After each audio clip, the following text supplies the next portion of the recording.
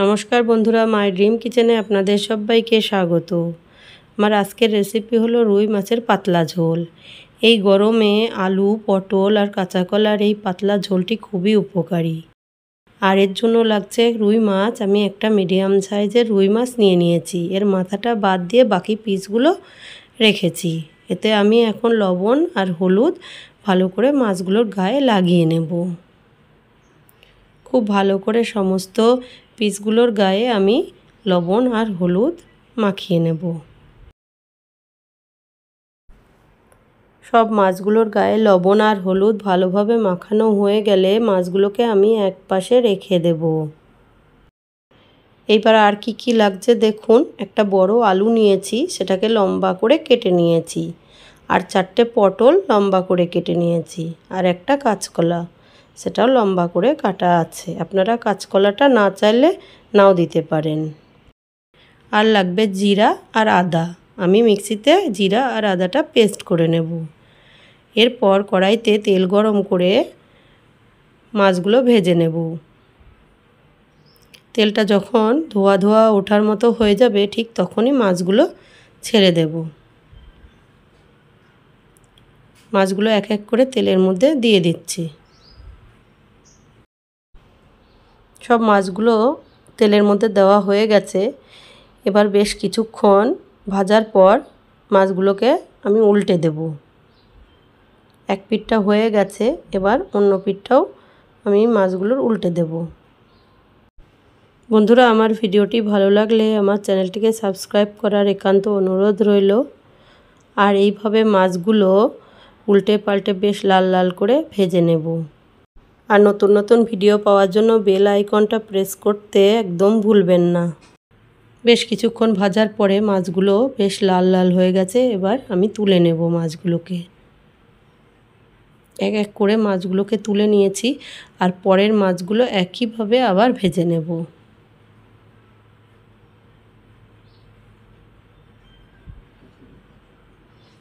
এই মাছগুলোও একদিকটা হয়ে গেলে অপর দিকটা ভালো করে উল্টে আমি ভেজে নেব। এইভাবে বেশ কিছুক্ষণ ধরে মাছগুলো ভেজে নেওয়ার পর দেখুন একদম লাল লাল হয়ে গেছে আর আমি মাছগুলোকে তুলে নিলাম। এরপর কড়াইতে বেশ কিছুটা পরিমাণ তেল রয়ে গেছে। এতটা তেল ঝোলের জন্য লাগবে না। তাই আমি দু চামচ তেল আলাদা তুলে রেখে দিলাম। এবার ওই তেলের মধ্যে এক চামচ পাঁচফোড়ন ফোড়নে দিলাম। এটা লাল হতে হতে একটা তেজপাতা ছিঁড়ে দিলাম।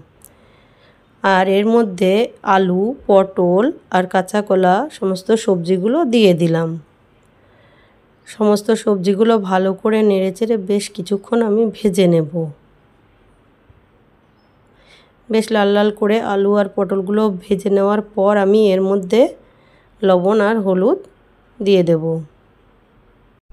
বেশ কিছুক্ষণ ভাজার পর আলু আর পটলগুলো বেশ একটু নরম হয়ে গেলে এর মধ্যে লবণ হলুদ দেব। এখানে আমি এক চামচ লবণ দিয়েছি, আপনারা আপনাদের পছন্দ মতো দেবেন। আর এক চামচ হলুদ গুঁড়ো, এক চামচ লঙ্কা গুঁড়ো দিয়ে আমি ভালো করে মিশিয়ে নেব। মনে রাখবেন এই সময় ফ্লেমটা একদম লো করা আছে। আর এর মধ্যে এখন আমি আদা আর জিরে যেটা পেস্ট করে রেখেছিলাম, সেটা দু চামচ দিয়ে দেব। দু চামচ আদা আর জিরা পেস্ট আর এক চামচ কাঁচা লঙ্কা পেস্ট আমি দিয়েছি। সমস্ত মশলা আর সবজি খুব ভালো করে কষিয়ে নেব। এই সময় ফ্লেমটা বাড়িয়ে সমস্ত মশলা কষিয়ে নেব। খুব ভালো করে কষানো হয়ে গেলে এর মধ্যে জল ঢেলে দেব। এখানে জলের পরিমাণটা একটু বেশি দেব, কারণ ঝোলটা খুব পাতলা হবে। আর এই সময় ফ্লেমটা বাড়িয়েই পাঁচ মিনিট রেখে দেব। পাঁচ মিনিট পর দেখুন বেশ ফুটে উঠবে। বেশ কিছুক্ষণ আবার ফুটিয়ে নেওয়ার পর ভেজে রাখা মাছগুলো ঝোলের মধ্যে এক এক করে দিয়ে দেব। এই মাছগুলো ঝোলের সঙ্গে মিশিয়ে দিয়ে মিডিয়াম ফ্লেম করে পাঁচ মিনিটের জন্য ঢাকা দিয়ে রেখে দেব। পাঁচ মিনিট পর দেখুন সমস্ত সবজিগুলো একদম নরম হয়ে গেছে।